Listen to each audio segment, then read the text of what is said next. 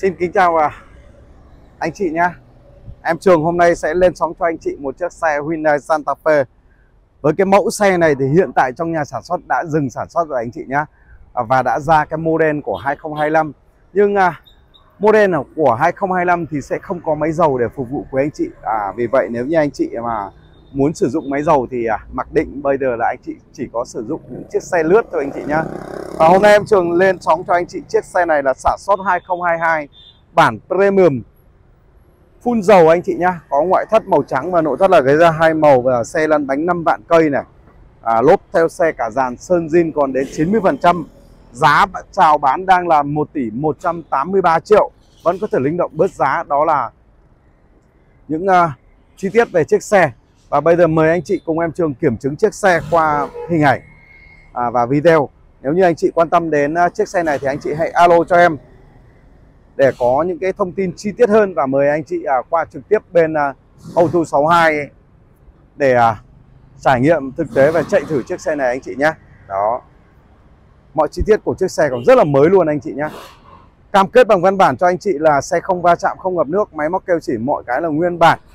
Và đã được bên em kiểm tra rất là kỹ càng về chiếc xe, về chất lượng của chiếc xe và bên em cũng đã cho vào hãng để bọn em bên em check test km zin lịch sử bảo dưỡng chuẩn bảo hành của nhà sản xuất còn đủ.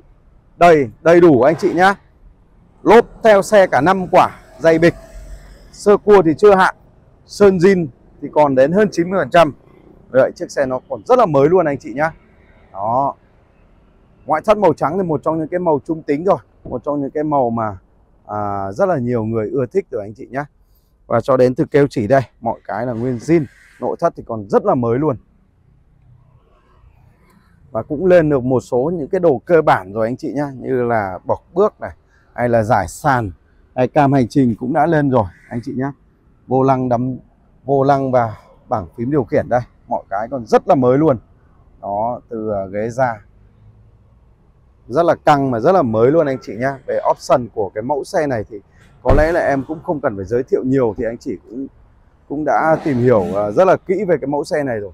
Là một cái mẫu xe mà với cái bản premium này là cái bản mà à, cao cấp nhất mà một cái bản rất là thông minh hiện đại của nhà sản xuất à, Hyundai anh chị nhá. Đây đây là lốp sau này. Lốp sau thì cũng hơi có dấu hiệu của mòn mòn một chút thôi anh chị nhá nhưng mà vẫn chạy tốt vẫn chạy được à, khoảng 5 vạn nữa anh chị nhá. Với xe chạy 5 vạn rưỡi là km zin trong nhà sản xuất rồi. Và những chi tiết của chiếc xe đây còn cực kỳ là mới luôn anh chị nhá bản premium. Cốp trang bị cốp điện này. Đấy, mọi cái là còn rất là mới và rất là xịn sò này. từ những cái cốp sau ốc cabo sau mọi cái là chưa mở ra một lần nào đây anh chị nhá. Hay là hàng ghế thứ ba đây. Mọi cái mọi chi tiết của chiếc xe còn rất là mới luôn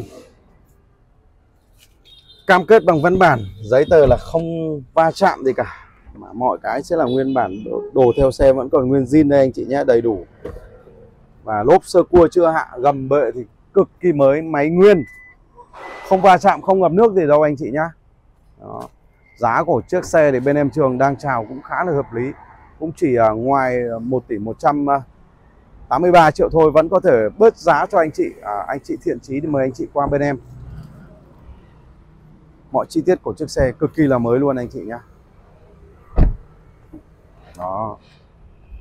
Rất mới luôn anh chị nhá. Mời anh chị đi vào khoang máy để có thể à, đánh giá cụ thể về cái chiếc xe này. Với à, Hyundai Santa Fe thì hiện tại bên em còn rất là nhiều luôn anh chị nhá. Với chiếc này chạy 5 vạn rưỡi và em còn một chiếc chạy hai vạn rưỡi.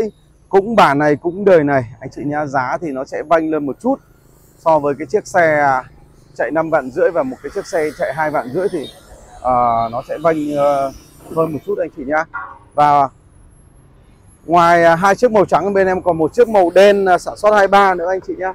Đây cabo đây mọi cái đây nguyên zin hết anh chị nhá. Cực kỳ là mới luôn anh chị nhá.